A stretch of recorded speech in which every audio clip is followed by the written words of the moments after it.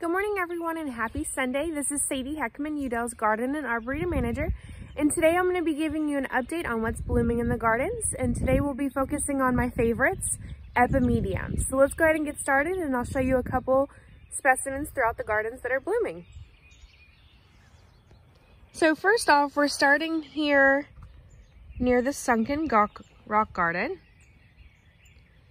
And the first one I want to show you is the chartreuse foliage that's covering the ground completely right here.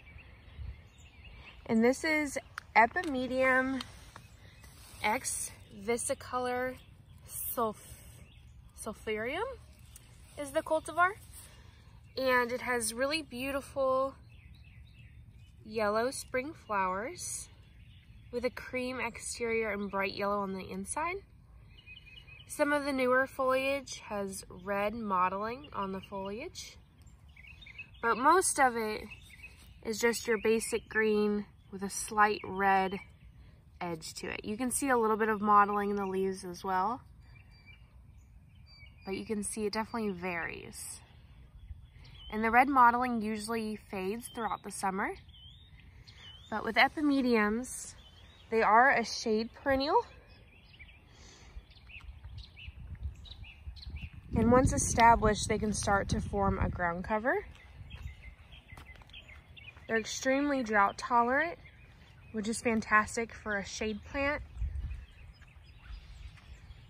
And like I said, they do spread once they're well established.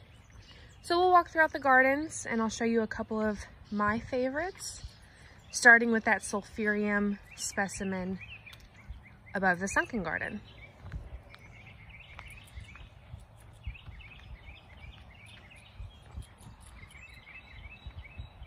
So right now we're coming up to the Holly Allée.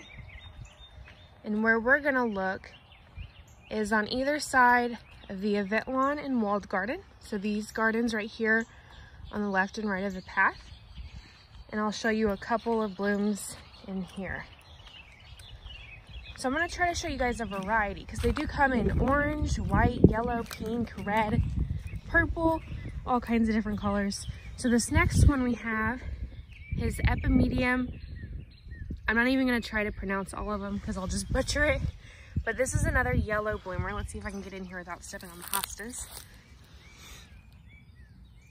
And you can see it has much smaller yellow blooms that are very different than the first one. It has larger leaves with beautiful red mottling on them. And you can see this one's done quite well spreading. And this plant has probably been here since about 2007.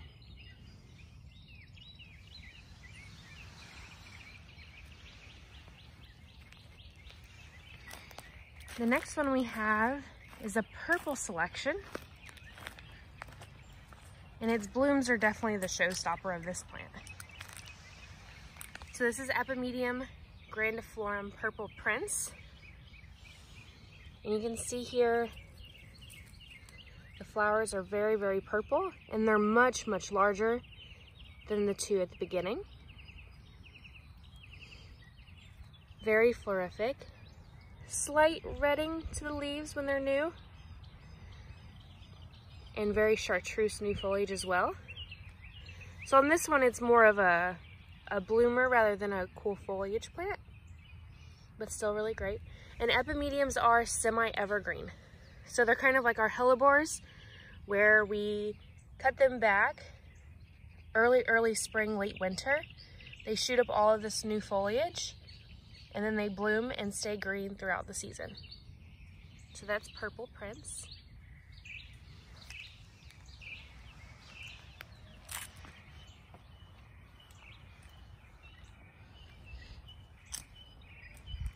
The next one we're gonna look at is one of my favorites for foliage, at least in this area.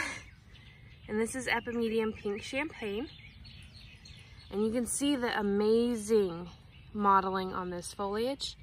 Much longer and pointier leaves.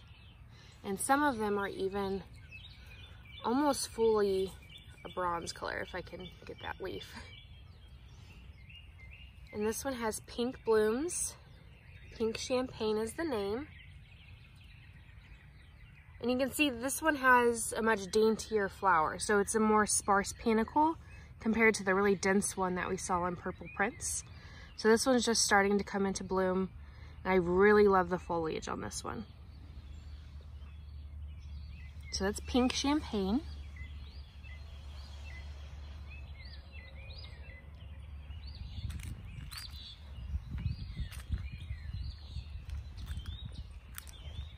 The next one I'll show you is Epimedium grandiflorum rose queen.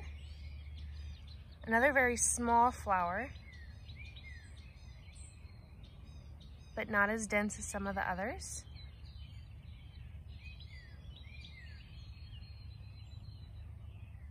And some of the foliage has a really nice point on one side, which adds a lot of interest. So that's Rose Queen.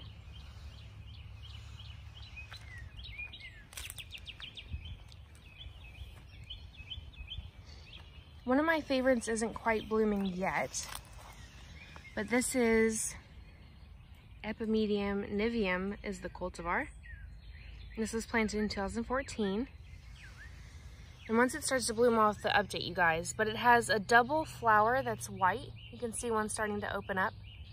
And I really, really love this one. It's a lot smaller than the others, so you can see how tiny some of the leaves are compared to my finger. But like I said, it has a double white flower that I really, really love.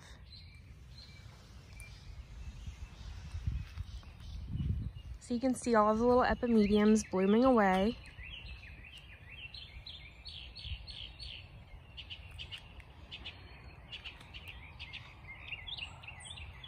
And there's one over here that I want to show you guys.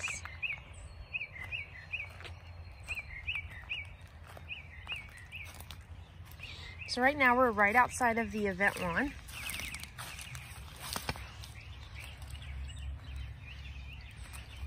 So this is the next one I want to show you. Epimedium grandiflorum ube, maybe? this is one of the larger selections of epimediums that I've seen here at Yew Dell. So it gets about a foot tall um, once it's fully emerged.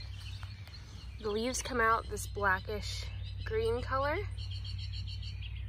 and the blooms are extremely dense. So you can see that panicle there, extremely dense. And almost a bubble gum pinky color, which I really like. And this one's also just starting to bloom, so you can see some of the buds there. There's a couple of blooms in here as well. But another really great specimen.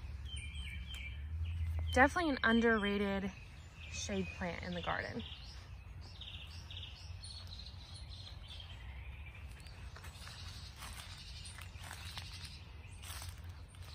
I think there's a couple more that we'll look at.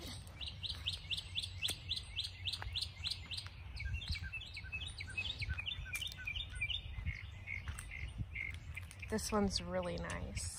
Very florific. Epimedium Pink Elf. And you can see this one's just starting to bloom as well. Very small flowers pinkish peach center and white outside petals. And the buds are very bubblegum pink.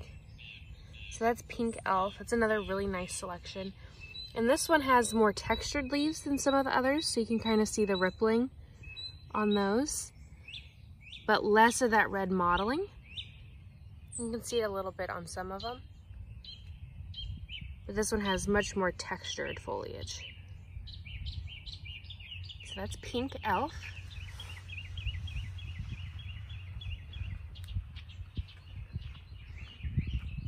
So the last one I want to show you, maybe my favorite? Maybe.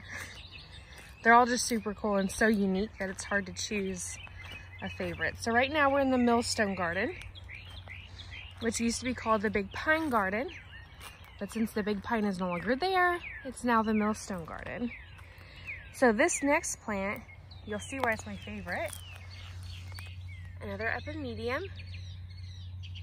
wushanense, maybe is the genus or the species. And you can see here, the foliage is ginormous. Definitely has a bronzing effect on it. Extremely serrated margins and almost a lime green edge. That's definitely my favorite part of this plant, but it does have blooms. You can see they're very, very big. So you have white on the back side and a creamy yellow on the inside. And they're very, very dense as well. So this one's just starting to bloom. There's some buds that haven't opened yet. But that's Epimedium wushanense. And I really love the large serrated foliage.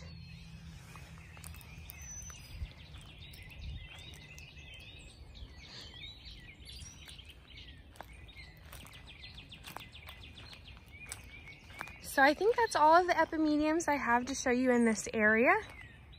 I hope you have a wonderful Sunday and had a wonderful weekend. And keep posted for more amazing What's in Bloom. Have a wonderful day.